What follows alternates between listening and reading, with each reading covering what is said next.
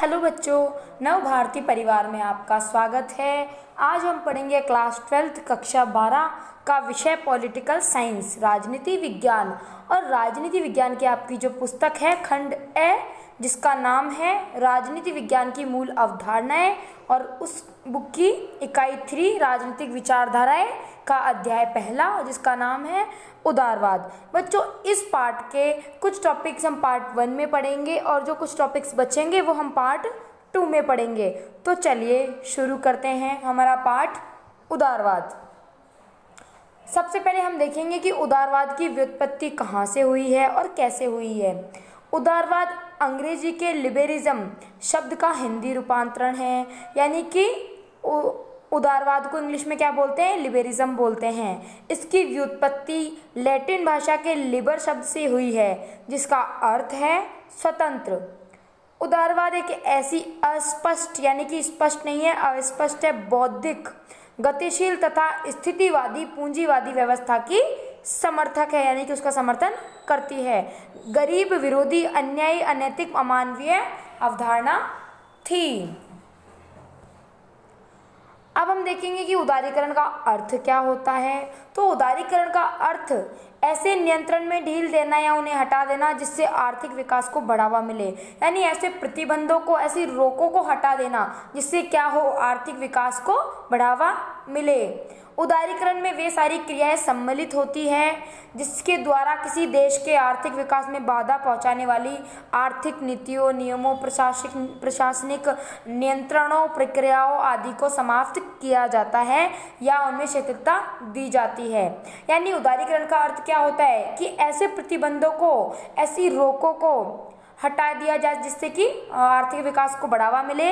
और मतलब क्या होता है, इसमें कौन कौन सी बाधाएँ होती है जिनको हटाना पड़ता है या हटाना चाहिए? आर्थिक नीतियाँ और नियम होते हैं या प्रशासनिक नियंत्रण होते हैं? पहले क्या होता था कि जैसे क्या आ, कोई विदेश में आयात निर्यात करते थे वस्तु वस्तु को खरीदते बेचते बेचते थे तो क्या होता था?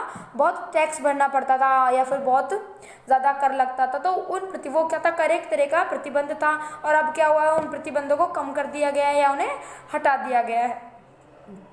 तो क्या होता है? आर्थिक नीतियों नियमों और प्रशासनिक नियंत्रणों और प्रक्रिया आदि को समाप्त किया जाता है या उनमें शिथिलता यानी कि उनमें कमी की जाती है उन बाधाओं को थोड़ा कम किया जाता है तो उसे क्या कहते हैं? उदारीकरण कहते हैं, उदारवाद का उदय एवं विकास। अब हम देखेंगे कि उदारवाद का उदय कब हुआ और इसका विकास कैसे हुआ। लॉक, बैंथम बैंथम व एडम स्मिथ की रचनाओं में उदारवाद की झलक मिलती है। तब इसका रूप नकारात्मक था और इसे व्यक्तिवाद व शास्त्रीय उदारवाद के रूप में जाना जाता है। 19वीं शताब्दी में जॉन स्टुअर्ट मिल ने इसे सकारात्मक रूप प्रदान किया। तब राज्य को आवश्यक बुराई समझने की बजाय एक सकारात्मक अच्छाई समझा जाने लगा तथा अनियंत्रित व्यक्तिक स्वतंत्रता की व्यवस्था के लिए खतरा समझते हुए व्यक्ति की गतिविधियों पर उचित प्रतिबंध लगाए जाने लगे।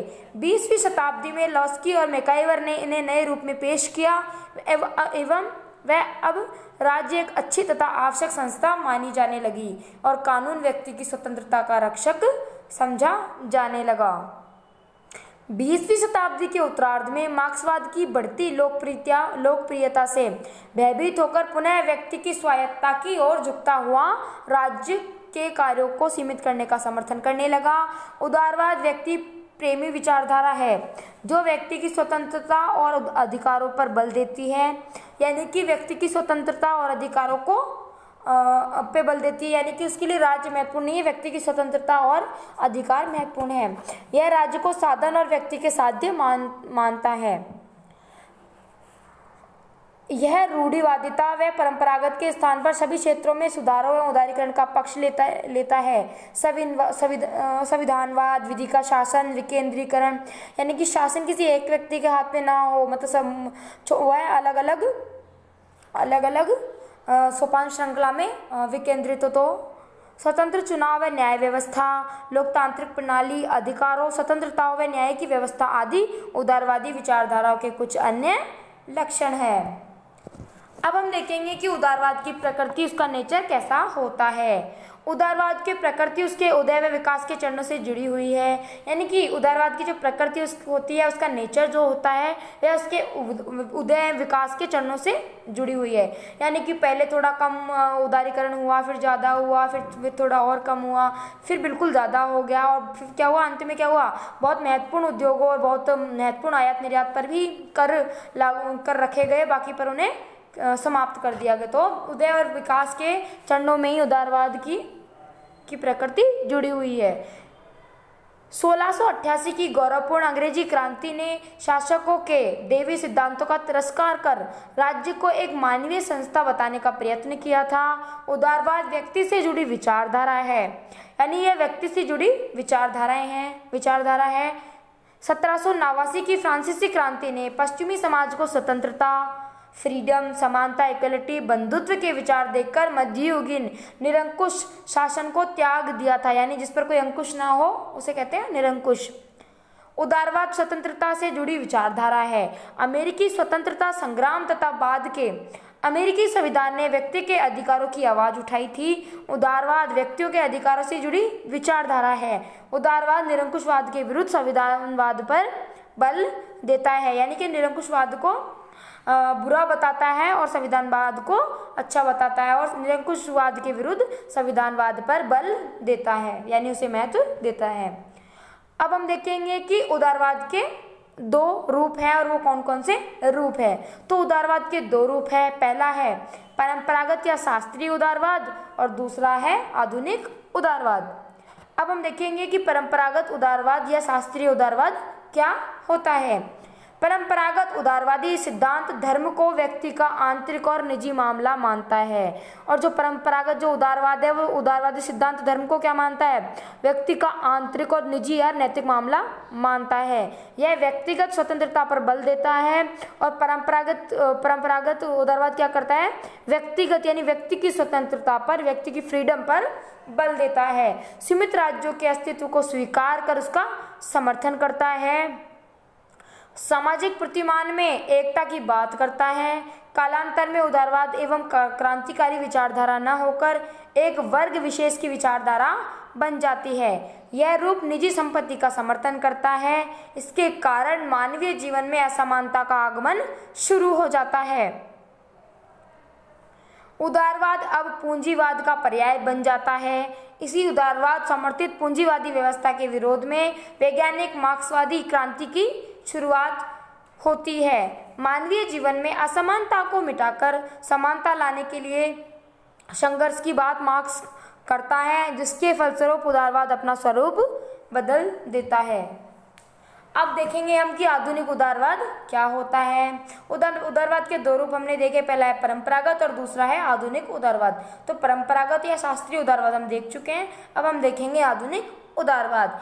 यह सिद्धांत लोक कल्याणकारी राज्य का समर्थन करता है। निजी संपत्ति पर अंकुश लगाने व पूंजीपतियों पर कर की वकालत की जाती है। यानी कि जो होता है आधुनिक उदारवाद क्या होता है? ये साम्यवाद पर ज़ोर देता है और निजी संपत्ति पर अंकुश लगाने में पूंजीवादियों की वका, पूंजीवादियों पर कर की वकालत की जाती है। लॉक के पश्चात बेंथम, टॉमस पेन, मॉन्टेस्क्यू तथा कई विचारकों ने उदारवादी दर्शन को आगे बढ़ाया है। यानी लिबरलिज्म की अवधारणा की चर्चा की है उन्होंने भी। और उन्होंने न केवल शक्ति, विवेकशीलता, तर्कशीलता और योग्यता पर पक्का विश्वास अभिव्यक्त किया है, बल्कि व्यक्ति के कार्यों में शासन हस्तक्षेप न करे, इस पर भी ज़ोर दिया है। उदारवादी दर्शन के फलस्वरूप ही अमेरिका की स्वतंत्रता की घोषणा सत्रह सौ छिहत्तर व फ्रांस में, सत्रह सौ नवासी ईस्वी में मानव अधिकारों की घोषणा हुई। सत्रह, सत्रहवीं व अठारहवीं शताब्दी के उदारवाद को परंपरागत या शास्त्रीय या उदा, उदांत उदारवाद भी कहा जाता है। यह उदारवाद नकारात्मक चरित्र का था इस उदारवाद को मानव प्रतिष्ठा, तर्कशीलता, स्वतंत्रता तथा मानव के व्यक्तित्ववाद पर बल देने के बावजूद इसका मौलिक चरित्र नकारात्मक था। बच्चों, इस पाठ के, यानी कि उदारवाद जो आपका अध्याय है, उसके कुछ टॉपिक्स हम पार्ट वन में पढ़ चुके हैं।